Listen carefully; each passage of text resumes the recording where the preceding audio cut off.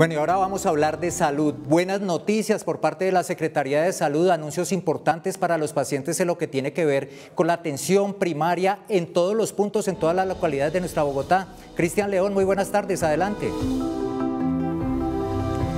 Muy buena tarde, qué gusto saludarlos. Efectivamente, con información muy importante en materia de salud, queremos enseñarles la carta de intención por la salud de Bogotá que se firmó por parte del secretario y también las principales EPS para mejorar y tener todas esas experiencias que dejó la pandemia y aplicarlas a futuro brindando una mejor atención. A continuación, las declaraciones del secretario distrital de salud.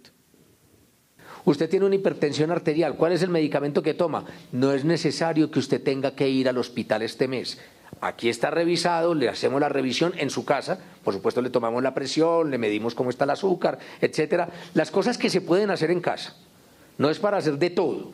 Son cosas que perfectamente se pueden hacer en casa y se le puede a esa señora o a ese señor entregar el medicamento allí en la casa. Y le estamos evitando a ella, a él, dos, tres desplazamientos y al sistema unos costos muy importantes. Ese es el modelo.